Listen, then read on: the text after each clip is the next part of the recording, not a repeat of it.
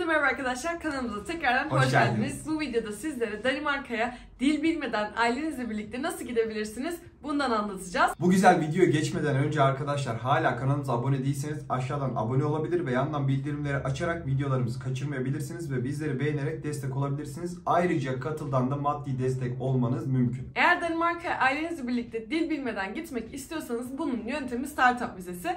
Startup vizesi nedir?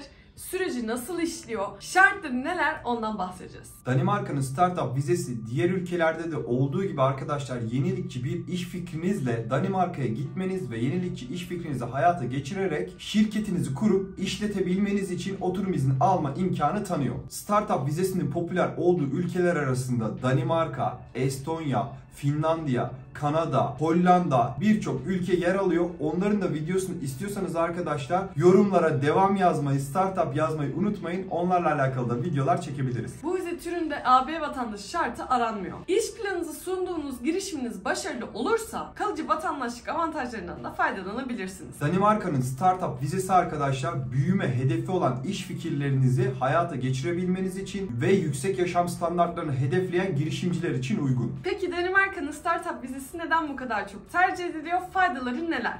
2 yıl boyunca oturum izni alabilirsiniz. Kendi şirketinizi kurabiliyorsunuz ve iş fikrinizi hayata geçirebiliyorsunuz. Ekibinize sahip olduğunuz avantajlardan ve fırsatlardan yararlanabiliyorsunuz. Tüm Avrupa ülkelerine vizesiz seyahat edebiliyorsunuz. Kendiniz ve aileniz eğitim ve sağlık hizmetlerinizden yararlanabiliyor. Danimarka bu konuda oldukça iyi. Yerel bankalardan hesap açabilirsiniz. Şartları sağladığınızda da vatandaşlık elde edebilirsiniz. Danimarka'ya yatırım yoluyla gidebilir miyim, vize alabilir miyim diyorsanız hayır arkadaşlar diğer ülkelerde olduğu gibi yatırım yoluyla yani parayla Danimarka'da oturum izni ve vatandaşlık alamıyorsunuz. Bu yüzden tek yol kalıyor. Danimarka Startup vizesine başvurmak. 2 yıl boyunca oturum veriliyor dedik. Peki bu süre uzatılabiliyor mu? Danimarka'nın startup vizesiyle 2 yıllık aldığınız oturum ve çalışma izni gerekli şartları yerine getirdiğiniz takdirde 4 ya da 6 yıla kadar uzatabiliyorsunuz. Gerçekten de muhteşem. Danimarka ne yazık ki bu konuda birazcık dezavantaj. Diğer ülkelerde daha hızlı vatandaşlık alabiliyorken Danimarka'da 8 yılınızı doldurduğunuzda vatandaşlığa başvurabiliyorsunuz.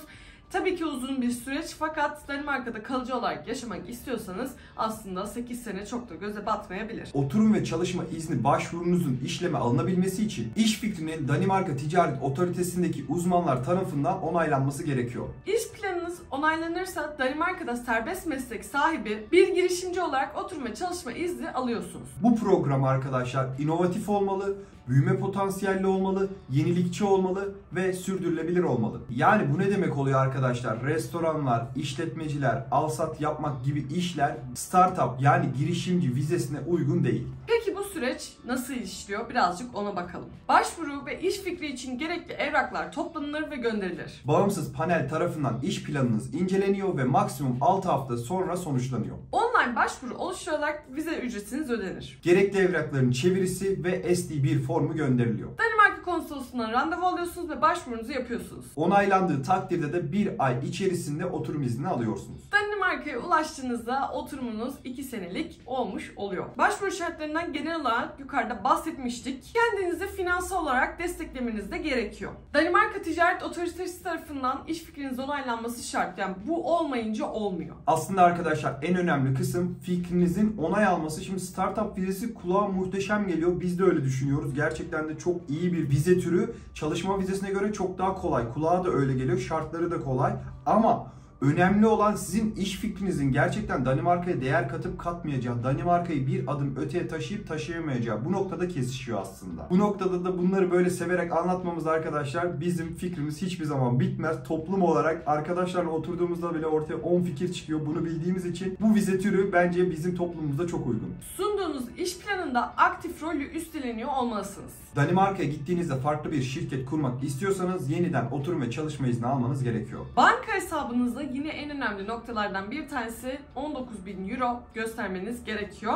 Kendiniz de başvuru yapabiliyorsunuz. Maksimum 3 kurucu ortakla da başvurunuzu yapabilirsiniz. Burada arkadaşlar şimdi önemli bir detay var. Mesela Estonya daha uygun. Finlandiya yine Danimarka'dan uygun. Danimarka en pahalısı diyebiliriz aslında maddi gereklilik açısından.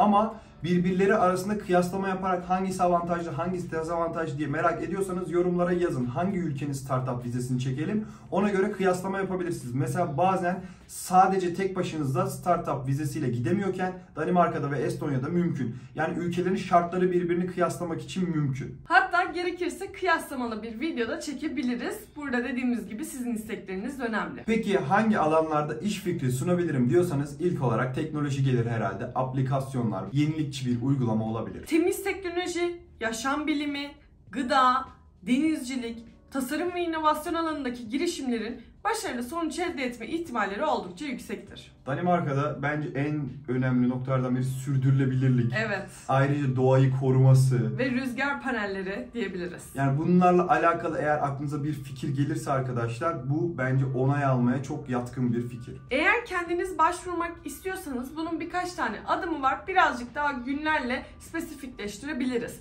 Birinci adım ortalama 75 gün sürüyor. Bu süreçte dediğimiz gibi panel tarafından yenilikçi iş fikriniz değerlendiriliyor. İş fikri için bir web sitesi oluşturabilirsiniz. Belgeleri hazırlıyorsunuz. Programa başvuruyorsunuz ve program 15 gün ya da dediğimiz gibi daha fazla da sürebiliyor. Bunlar hep ortalama. Kart başvurusu ve şirket kurulumu arkadaşlar ortalama 90 gün sürüyor. Referans mektubunuz ile konsolosluktan randevu alıyorsunuz. Konsolosluğa gerekli belgelerle başvurunuzu yapıyorsunuz. Başvurudan sonra oturum izninizi konsolosluktan alıyorsunuz. Danimarka'ya gidince şirket kuruluşunda yapıyorsunuz. Şimdi dediğimiz gibi gün çok değişkenlik gösterebilir. Bazen randevular dolu olabilir. Yani ne olacağını bilmediğimiz için genel ortalama vakit söylüyoruz. Oturum iznine başvurunuzda 1900 Danimarka krono. Oturum izninizi uzatmak istediğinizde yine 1900 kron ödüyorsunuz. Vatandaşa başvuru ücreti de 3800 Danimarka krono. Aile bireyleri için ne kadar ödeyeceğim diyorsanız refakatçi aile üyesi oturum izni 1470 kron. Uzatılması da 1470 kron yine aynısı. Yine vatandaşla kabul ücreti de 3800 kron. Peki iki tane önemli konu var. Dil ve ekibinizi buraya getirebiliyor musunuz? Danimarka Startup vizesine başvurabilmeniz için herhangi bir mülakat ve dil şartı yoktur. Danimarka'ya ulaştığınızda da arkadaşlar dilinizi geliştirmek için ücretli belediye kurslarından faydalanarak oraya adapte olabilirsiniz. Startup ekibi Danimarka'ya getirebilir miyim? Evet getirebilirsiniz. Danimarka iş ortaklarınızla ya da arkadaşlarınızla başvurarak gitmek istiyorsanız dediğimiz gibi en fazla 3 kişi olabiliyorsunuz. Onaylandığında üçünüz birden gidebiliyorsunuz. Peki gelelim en güzel soruya neden Danimarka? Aslında bu konuda bir sürü videolar çekebiliriz. Ama gelen anlamda e, şehir içinde doğayla iç içe yaşama, gelişmiş startup ekosistemi, İş yaşam dengesinin çok iyi olması, yaşam koşullarının çok yüksek olması, alım gücünün çok iyi olması saymakla bitmez herhalde. Ülkenin dil bilme oranının çok yüksek olması. Neden bunu söylüyorum? İngilizce Daha önce- dil bilme, Yani evet. daha önce öğrenmeden önce İngilizcenizle orada yaşayabiliyor olmanız, bisiklet yollarının muhteşem olması, dünyanın en çok bisiklet bilinen ikinci ülkesi olması, dünyanın en mutlu ülkelerinde hep ilk beşte yer alması. Bence Danimarka'yı senden çok ben övmeyeyim. Evet doğru söylüyorsun. Yani kendi memleketim diye değil gerçekten de yaşanılısı ve çocuklarınızın geleceğini düşünüyorsanız oldukça iyi bir yer. Danimarka'da en büyük problem olabilecek şey arkadaşlar sıkılabilme ihtimaliniz. Evet. Onu da göze alıyorsanız ve iklimini göze alıyorsanız biraz güneş görme konusunda problemler yaşayabilirsiniz. Onun dışında bir problem çok görmüyoruz. İspanya ve Yunanistan'a sık sık ucuz uçak bileti olduğu için çok da dert olmayan problemdir diyelim. Umarım arkadaşlar videomuzu beğenmişsinizdir. Lütfen ama lütfen kanalımıza abone olmayı, videoyu beğenmeyi ve tabii ki katıl istiyorsanız katıla tıklamayı unutmayın. Ayrıca arkadaşlar gitmek istediğiniz ülkelere, istediğiniz vize türlerini yorumlarda belirtirseniz, sorularınızı sorarsanız biz cevaplamaya çalışırız. Lütfen yorum yapmayı unutmayalım. Bir emoji bile olsa, kalp bile olsa atmayı unutmayın.